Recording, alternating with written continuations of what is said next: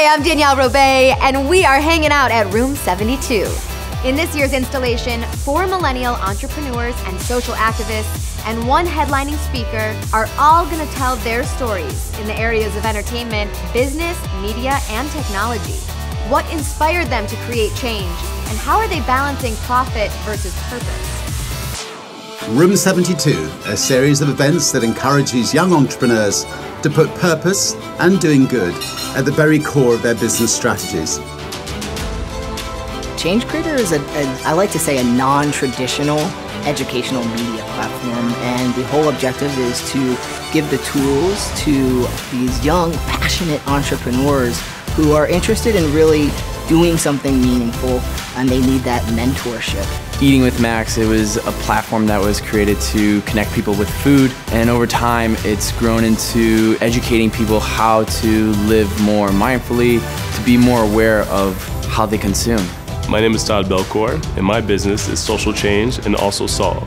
For Social Change, I'm the executive director, and for Solve, I'm the founding partner.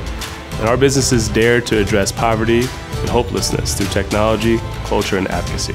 My company is called Charity Charge. It's a public benefit corporation, and we created the only credit card that allows you to donate your cash back automatically to any nonprofit of your choice. Swizzle is an alternative plastic straw company. This is a global movement that we're attacking with Swizzle. We have a consumer carrying case that allows individuals to carry around two stainless steel straws and one cleaning brush in the Eco Chic carrying case.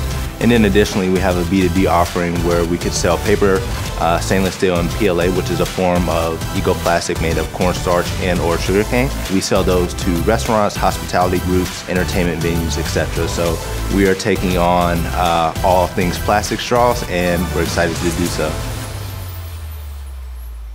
I think Room 72 is a really important event for entrepreneurs because they need the opportunity to connect and get insights and mentorship from people. Take the step, believe in each step that you take because you're eventually going to get to that point. It's so easy for us to look over there and, and judge someone else's chapter 20 to our chapter 1. Nobody can execute your idea like you can, and they don't have the specific vision that you have. Room 72 is an extremely important event for entrepreneurs, but sometimes it can be really taxing to be an entrepreneur.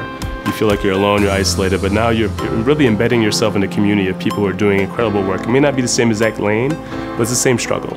Now that I've been able to get Charity Charge off the ground and have some success, it's really important for me to be able to give back, and hopefully people can learn from some of my high highs and low lows, and that'll further fuel their journey as an entrepreneur. If you're ever going to sell anything, I think that you have to understand the psychology of who you're selling to. If your copy and what you tell them does not uh, feed into the narrative that's in their mind, it's just not going to resonate with them. Once you get into that saddle of starting a business or going out and branching out on your own, it's lonely sometimes. But the key is you don't have to do it by yourself. It seems like what you're circling around is a little bit more about how do you determine whether to take that leap of faith. It makes it easier to get up every day when you're doing something that is meaningful to you. Align what you do with your values. And if this is something that is really keeping you up at night, putting you in a position where you feel compelled to pose in front of a room full of strangers, it's probably in your heart well enough to really investigate and invest more time into and dig deeper. So people need to find their passion, find their purpose, and hopefully in this venue, being surrounded by entrepreneurs, you'll be inspired to do more than you would have ever thought otherwise and recognize you have what it takes to change the world as well. I'm just going to share my story. I have a unique background, played eight years in NFL, and my entire life has been devoted to athletics. And I took a massive pivot into business investing and now owning and operating uh, an eco-friendly company. So it's about transition, it's about grit, it's about determination, it's about redefining yourself and finding meaning throughout life. Um, and not being defi defined by what you used to do, but always forward looking. So I'm excited to share that. We thought really hard about what's the solution and where's the opportunity to not only do good, but also do well. You can get through anyhow if you if you really know your why. The advice I would give young entrepreneurs is let money be the last thing on your list and let love and passion and purpose be the first thing. Don't listen to the naysayers. Take that as fuel and let that push you and drive you forward. Embrace reality as much as possible, really focus on the facts and what's true. Play for something bigger than yourself. You know, bringing like-minded individuals together in a positive environment is always uh, a win in my book.